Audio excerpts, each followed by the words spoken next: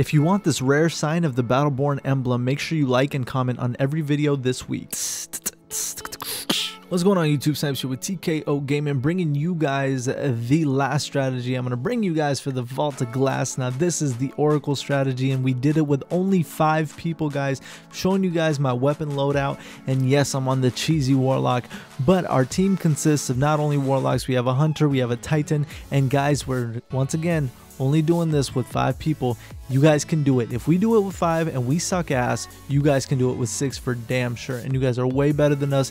Have the positive mentality to go in and get this damn raid done. So let's talk about how we were positioning ourselves. Now, we pretty much had two people on the left, two people on the right, and what we had was one person kind of floating around in the middle. The best way we found out to kill these oracles is a shotgun. Now, the Matador is the shotgun I have. It's not full auto, so it doesn't shoot fast enough, but three shots with the Matador will kill the Oracle. Super good advice. Does chain Oracles pretty much unlimited shots, so you can pretty much do a lot of damage with that. Praetorian Foil does kill the Oracles in one burst, which is unreal. Didn't know that was true, but if you have that rare weapon, you can definitely use it. Make sure it's high enough light. It does drop in the raid. I'm pretty sure, I think it drops in this part. I don't know, I could be wrong, but that's a rare weapon. Let me know what weapons you guys got, by the way. If you need help with anything in this raid, make sure you check out our videos. We have Atheon Challenge, we have Templar Challenge, the best strategies for any of those on our channel. And make sure you guys hit that subscribe button if these videos do help you out. Now, one thing you want to do is if you have the Burning Eye Adept, you get that weapon in the Trials of Osiris. It's so freaking good, guys. It's the best weapon to use in PvE, in our opinion. And granted, you could use a Fatebringer or Imago Loop that pretty much acts like a Fatebringer. And it will do a lot of work as well. But for this, the Burning Eye Adept really does well. Be careful of the snipers on the far right and left. You guys want to make sure you're working as a team and destroying those snipers. One thing that you guys want to know is make sure your whole team is familiar with the callouts for the Oracle spawning up. If you have a gaming headset, you can actually figure out where they're spawning up just by the sound of it. But some people don't have that, so you want to make sure you're calling out with your team. Do not be scared to use a Gjallarhorn. One Gjallarhorn will also take out an Oracle in case you're falling behind. And this is much more fast paced, guys. It's look at this video. It's only a five minute video. You guys can definitely get through this. I wish you guys the best of luck. I wish you the best of luck in the loot as well. I'll let the call outs for the rest of the video be so you guys can hear what we're talking about. Make sure you follow us on twitter at real tko gaming and our twitch stream. All links are in the description below if you want to help yourself with anything in destiny.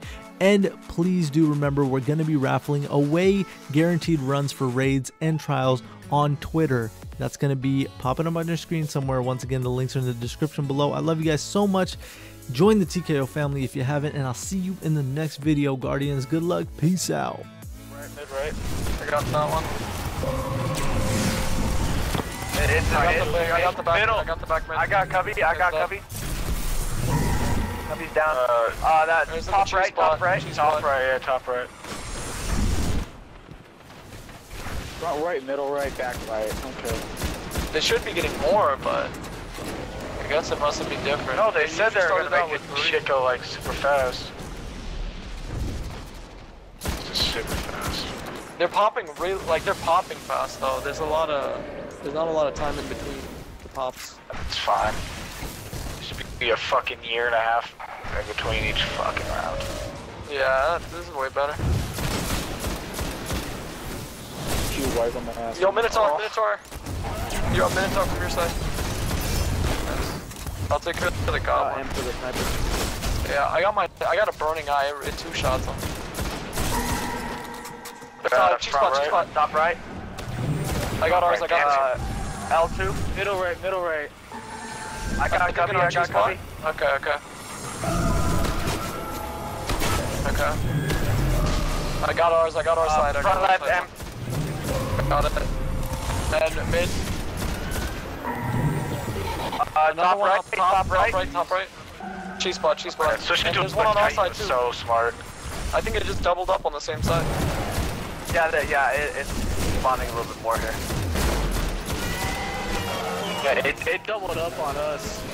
On right. Oh, I got you, nice one. Okay, that's either. It took way too I long think in my that's head three to more. register. That's three more left. First I was like, great. I'm tired of it.